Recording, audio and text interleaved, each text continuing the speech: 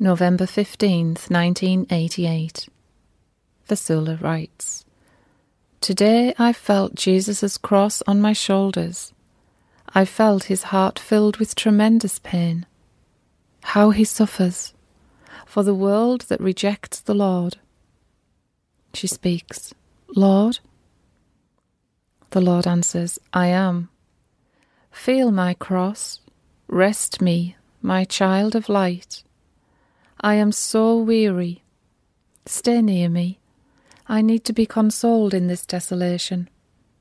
My Vassula, hear me and write. O creation, my seed, I am your Holy One, but you are condemning me.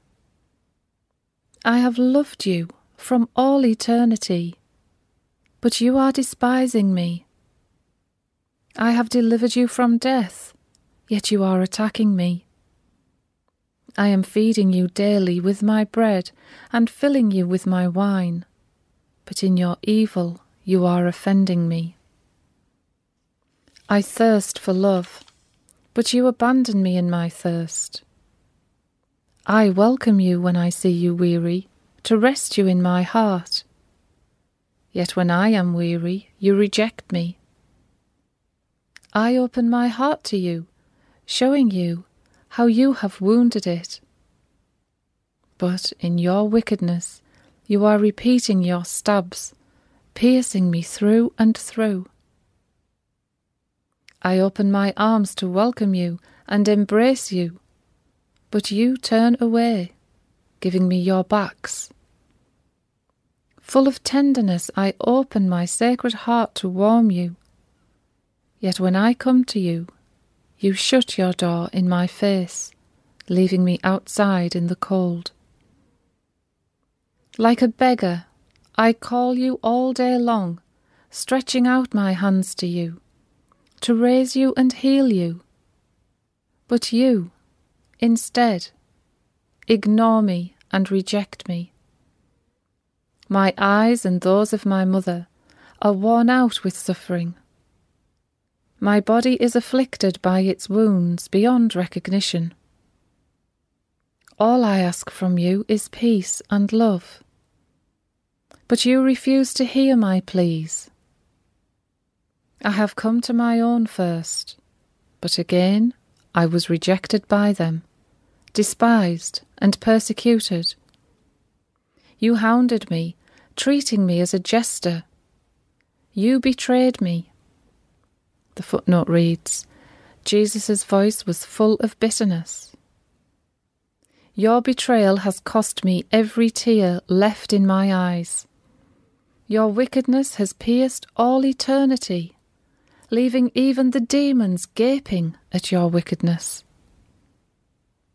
Ah, Vassula, I have come out of great pity and great mercy to warn you and to deliver you from death.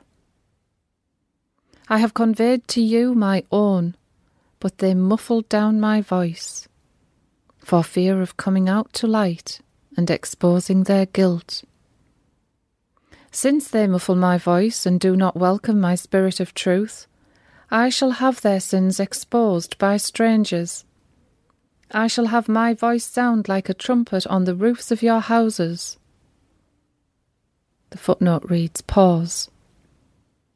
Then sadly, I have been welcomed by strangers who never knew me. I knocked at their door, and they allowed me to enter. In spite of their poverty, they let me share their meal.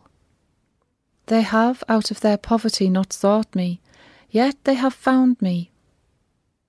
I have showed them my wounds, made my made by my best friends, and they knelt in front of my wounds. On seeing them, struck by their depth, struck by the savagery inflicted on my body, their hearts melted like wax. Do not weep, my child. My voice will be carried by strangers. When you hear the echo, know that it came from me. I will be exalted by strangers who never sought me. I will be glorified by those who never knew me. And I will become their master and teach them, and their faults I will dispel. I will reason with them, and they will understand me. They will heal my wounds. I am the shepherd, and I shall gather my lambs, since they were struck by their shepherds and dispersed. O Vassula, all this will be fulfilled so soon now.